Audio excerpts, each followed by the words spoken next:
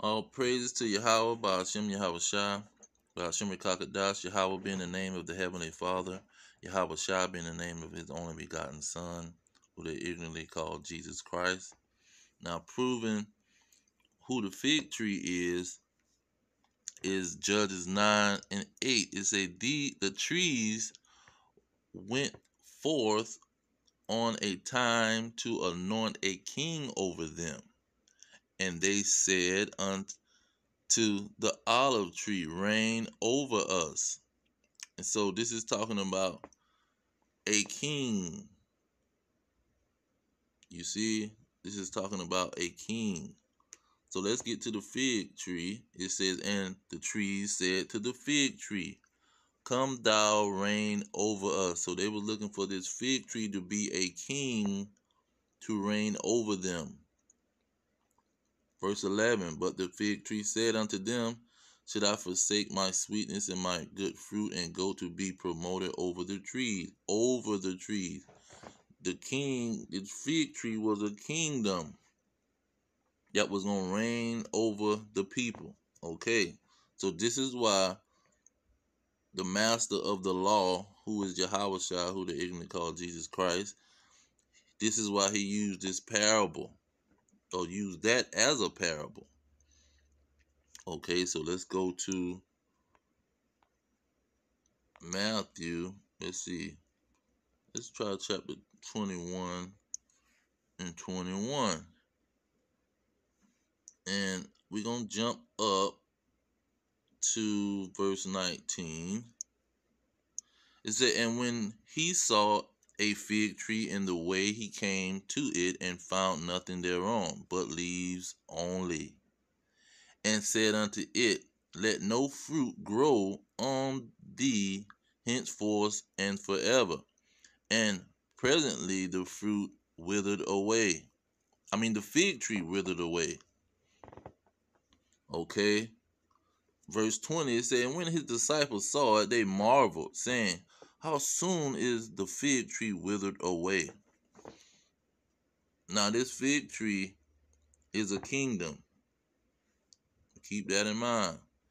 Verse 21 it says, Yahweh answered and said unto them, Verily I say unto you, if ye have faith and doubt not, ye shall not only do this which is done to the fig tree, but also if ye shall say unto this mountain.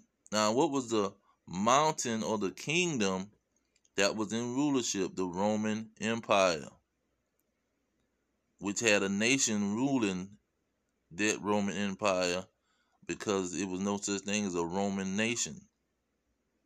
That was just the name of the of the empire, but that empire was ran by one nation. It said, "But also if ye shall say unto this mountain, Be thou removed and be cast into the sea, it shall be done." And that sea is the people, cast amongst the other peoples of the, of the world. Now, that's the first parable that showed that the fig tree is synonymous with a kingdom. It's synonymous with the kingdom, and it's and he emphasized it said the fig tree had leaves only. They didn't have figs on it. So it had it hadn't developed. It wasn't all the way developed. It was in early stages. When the figs come, then the figs fall off, then the leaves fall off. So when you get to chapter 24 is talking about the leaves, but look how what, what level it's it's it's um on. It says, "Now learn the parable of the fig tree, which his branch is yet tender, and putteth forth leaves. Ye know that summer is nigh." it says, So likewise, ye, when ye see all these things, know that it is near even to the doors. Now it says, when the branch is tender and putteth forth leaves.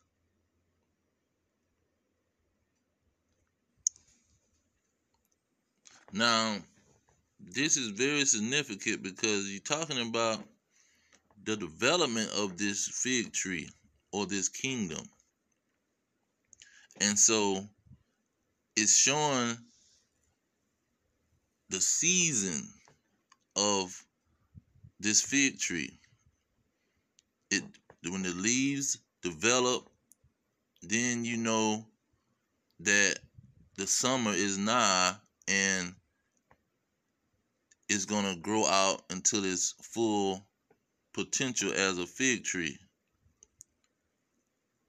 Now, looking at the season, you can time when he is going to return and gather his elect. And so when you see this fig tree, that it is a kingdom and it's developed already. Um, let's go back to 21 because the disciples said something very significant. It says, And when Verse 19 And when he saw a fig tree in the way, he came to it and found nothing thereon, but leaves only, and said unto it, Let no fruit grow unto thee until henceforth. And presently the fig tree withered away. Look at what the disciples said. They said, and when they, the disciples saw it, they marveled, saying, How soon is the fig tree withered away? See, they want to know when was that kingdom going to fall? When was that kingdom going to be uh withering away?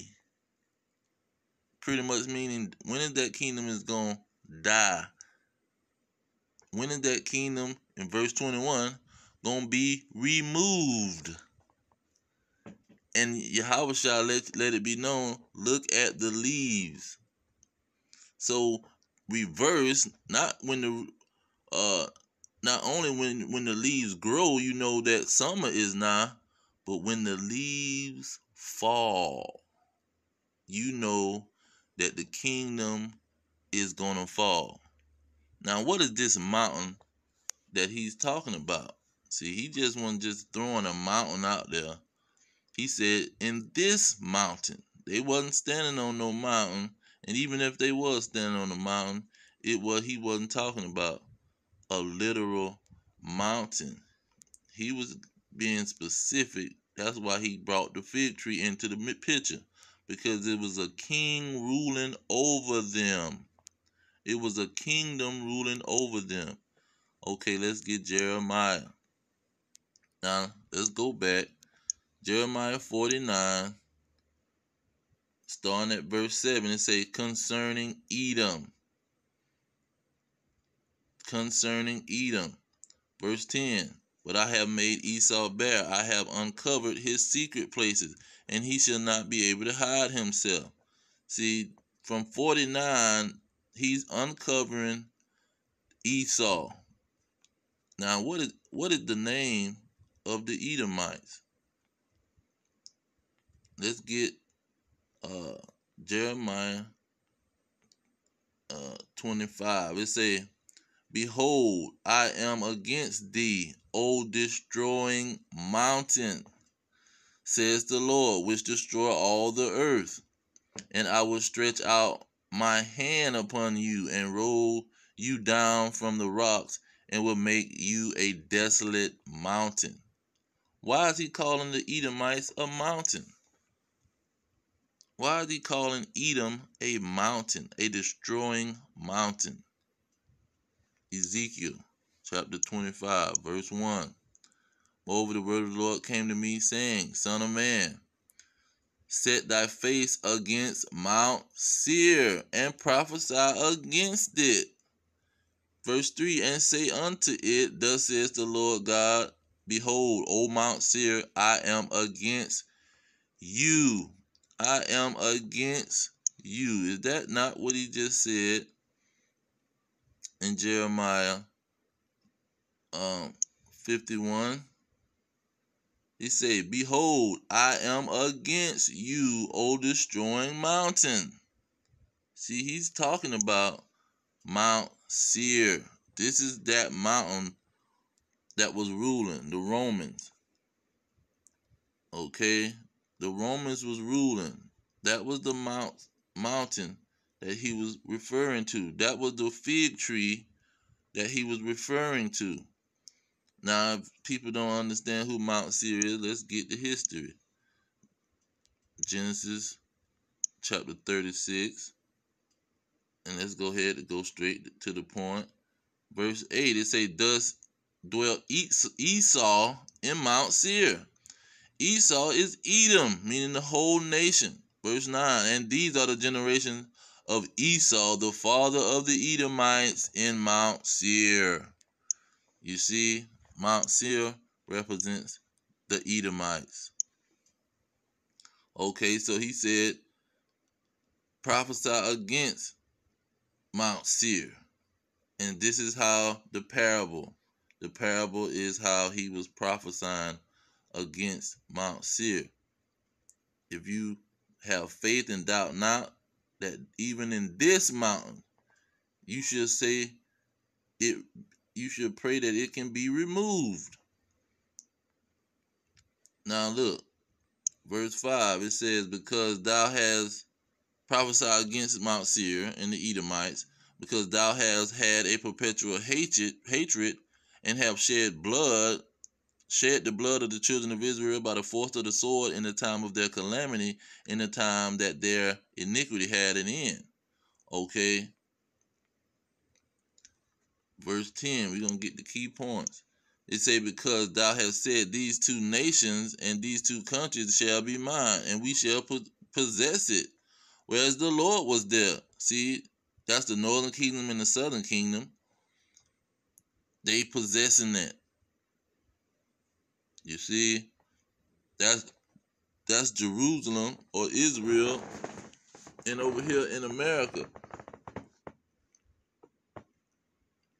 these two nations that have the Israel uh, Israelites, Israel and Judah inhabiting it, or these two countries. Now, um, let's get um the last verse to let you know who Mount Seir is talking about. Verse 15 it say, As for did as you did rejoice at the inheritance of the uh, house of Israel, meaning you you took them captives, had them as slaves, because it was desolate. So will I do unto you, and you shall be desolate, O Mount Seir, and all Idumea, even all of it, and they shall know that I am the Lord. So he's saying that Idumea, which means Edom, that's the way the Greeks say Edom is who he was talking about, all of the Edomites.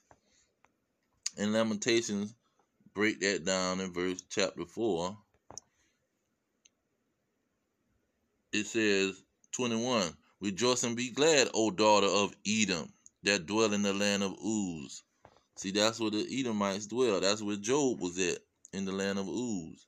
That's why he said the earth is given into the hand of the wicked, because that was the ruling uh, mountain, Mount Seir, that was, and, and mountain represent kingdoms also.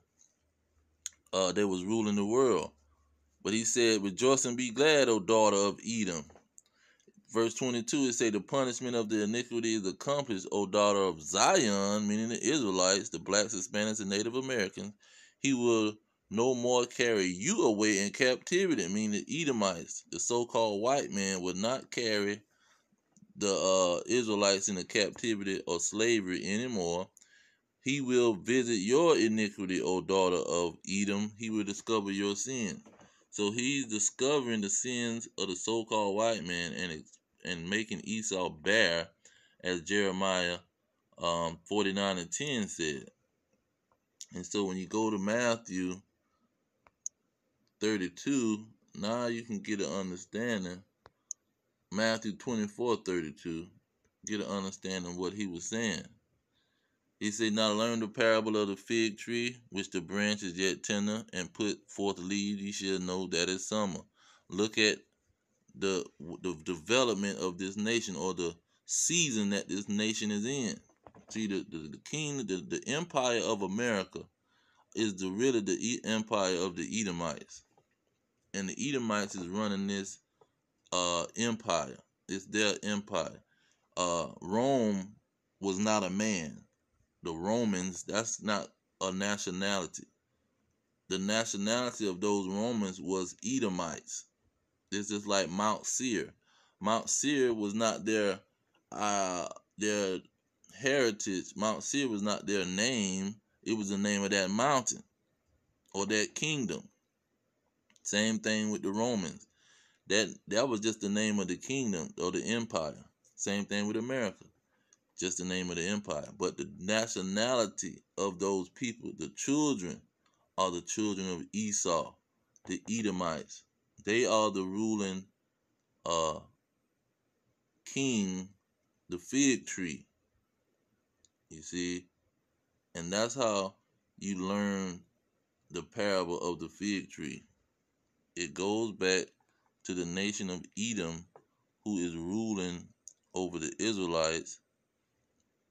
And when the leaves are falling, and we're seeing the leaves fall, we can see the empire of America fall.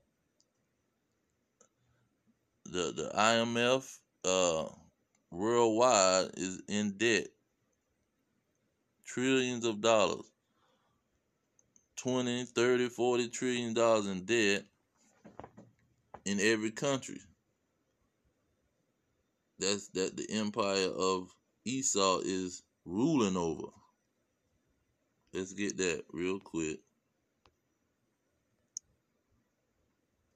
See, this empire is ruling, this fig tree is ruling over the other king. Revelation 17, 18, and the woman which thou sawest is the great city which reigneth over the kings of the earth. See, America is that great city that reigneth over the kings of the earth. And in America is the uh, root of the fig tree.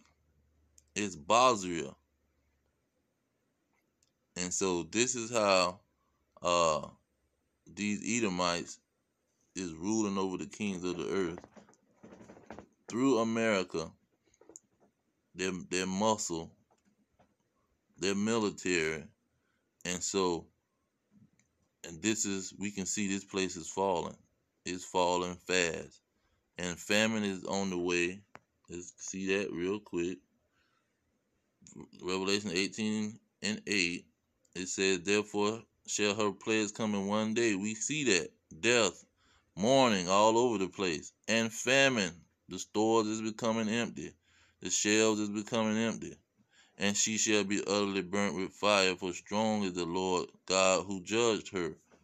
See, because the fire to be the nuclear missiles that destroy this place. That that's going to burn uh, Babylon uh, utterly. And let's go right back here. Verse 16, how is it going to get burned? It say, The ten horns which thou sawest upon the beast shall hate the whore, and make her desolate, naked, and shall eat her flesh, and burn her with fire. See, the allies of America, the allies that's helping America rule, is going to turn against her and burn her with fire. And why is they going to do that? Verse 17, For God has put it into their hearts to fulfill his will. It's the Lord's will to get these other nations to burn America with nuclear fire. But I'm going to leave it there. All praise to Yahawah, Ba'ashem Yahawashi, Ba'ashem Kakadash, double honors to the elders pushing the truth, peace to the elect, the blacks, Hispanics, and Native Americans, descendants of slaves scattered around the globe. Our kingdom is at hand. Shalom.